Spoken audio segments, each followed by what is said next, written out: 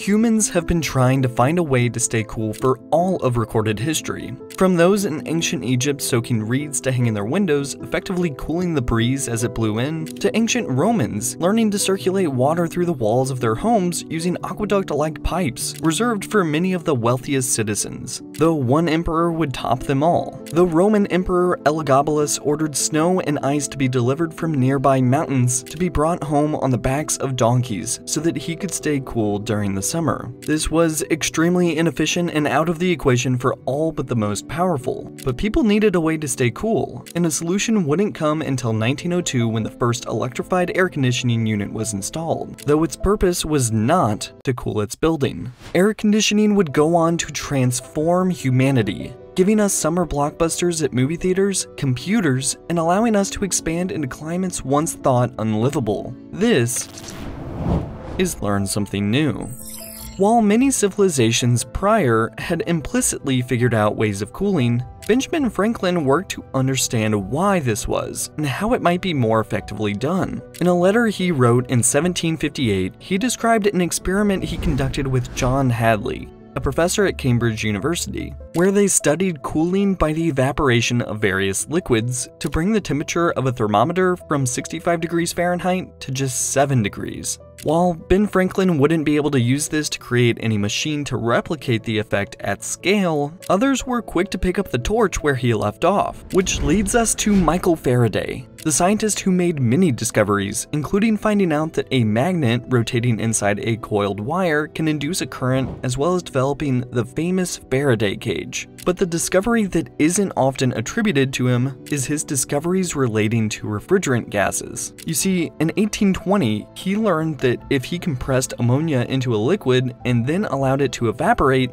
the air in his laboratory cooled. Ten years later, this concept would be adopted by American doctor John Gorrie, who first designed an engine that could pull in air, compress it, then run it through pipes, allowing it to cool the air as it expanded. He patented the idea in 1851, believing that it could be used in every building across the entire world to keep everyone cool, not just for his hospital patients. But after an extended tour through many cities throughout the southeast United States, he found that nobody was willing to help him fund his idea, and thus it was shelved, at least until he realized that the pipes would eventually freeze and form ice, Though his ice machine would draw annoyance from some at the time, as the New York Globe painted him as someone who believed he could possess the power of God though many suspect this was partly propaganda from the natural ice industry of the time, which you can learn about in my video about the Ice King, keeping America cool before air conditioning. But despite that, it would be ice that was used to make a makeshift air conditioning unit to make President James Garfield more comfortable on July 2, 1881,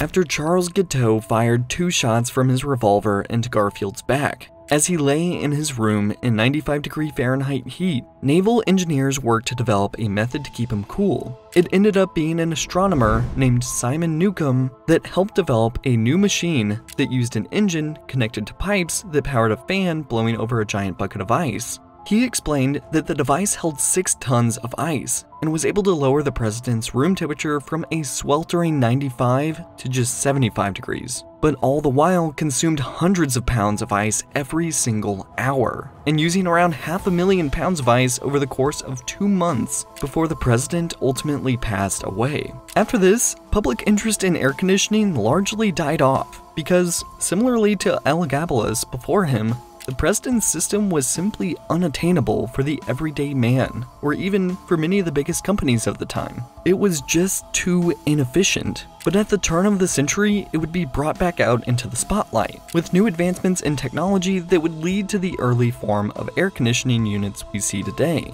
Willis Carrier had a breakthrough in July of 1902 when he designed his apparatus for treating air, as he called it, which was first installed in the Sackett Wilhelms Publishing Building in Brooklyn, New York. This device built upon all that had been created before it, and it blew air over tubes containing a coolant, though in reality, its use was not for cooling. It was less about the use of bringing down the temperature of the building and more about bringing down the humidity in the building, because there was excess water in the building's air that was damaging the publishing company's paper. Carrier's device was especially significant because it was powered by electricity, rather than the hand cranking nature of the ones that came before it, officially earning him the title as the inventor of air conditioning. But in the same year he installed his into the publishing house's building, another inventor was installing his cooling device into the New York Stock Exchange building.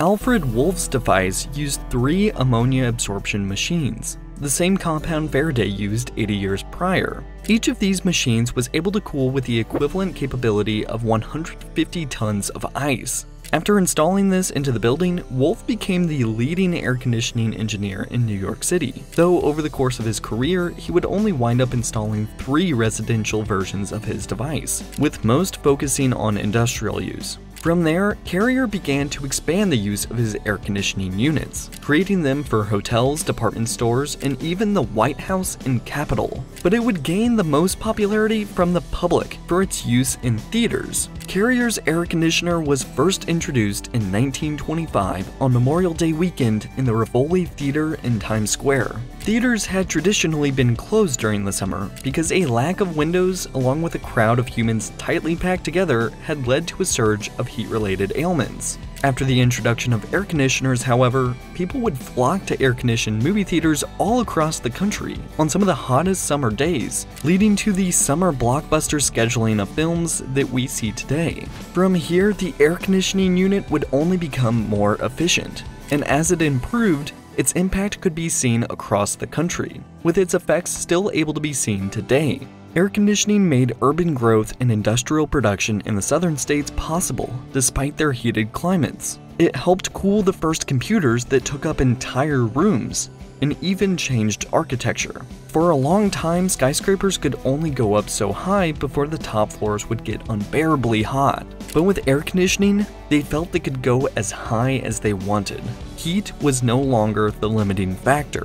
Not to mention that mortality from extremely hot days dropped roughly 80% when comparing the average deaths before mass adoption in 1900 to 1959 to after many homes began being built with AC units pre-installed from 1960 on. Now, approximately 10% of all the electricity consumed in the United States is for air conditioning purposes, costing Americans around $30 billion a year. But that's a cost that nearly everyone seems to agree is worth it. Thanks for watching. If you like this video, please consider liking, subscribing, and sharing it. And as always, thanks again, and I will see you in the next one.